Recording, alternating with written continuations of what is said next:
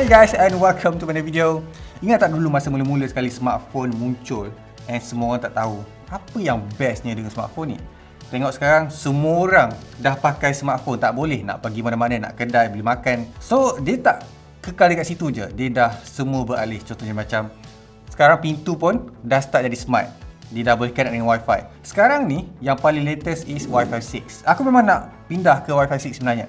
So that aku boleh rasa kelebihan and teknologi yang ada especially bila new devices baru masuk.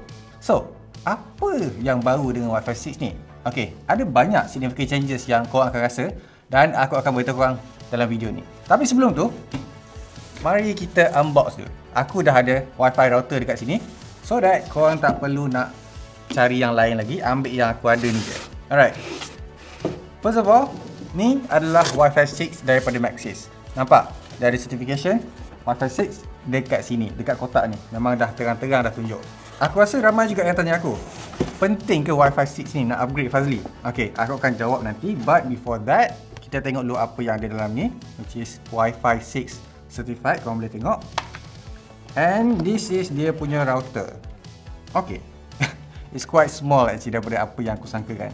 And kalau korang perasan, dia punya design ni lebih kurang macam PlayStation 5 tau. Nampak tak?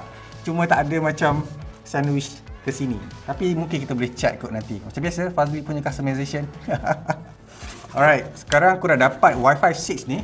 And it's time to explain to you guys. Fazli, apa yang best dengan Wi-Fi 6? First of all, benda yang paling obvious aku boleh bagi tahu dekat korang bila ada Wi-Fi 6 ni, teknologi baru ni. That is internet kelajuan lagi laju daripada biasa.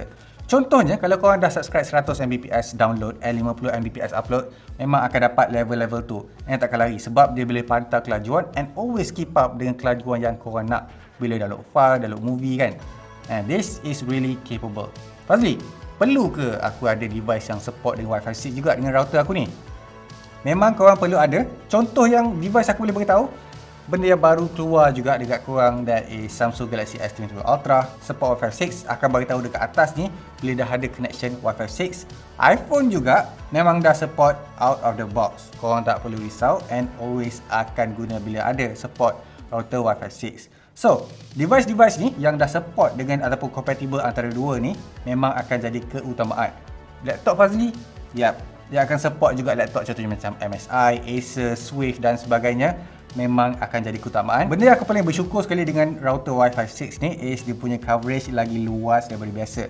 Meaning, kalau kau ada dekat mana-mana tempat area studio aku ni memang akan dapat internet yang kuat and then dia punya internet speed lebih kurang je. Dia tak akan lari jauh even signal dia turun sikit. Uh, so that is the advantage of Wi-Fi 6 dekat dalam studio aku. Tapi kan kalau rumah kau orang tu memang betul-betul besar, dua tingkat lagi tu, and then tak kira lagi dia punya laman besar satu parabola. yang tu memang kena pairkan dengan mesh wifi. Okay, router ni memang dia support mesh wifi yang ada dekat luar sana. Contohnya macam yang support easy mesh.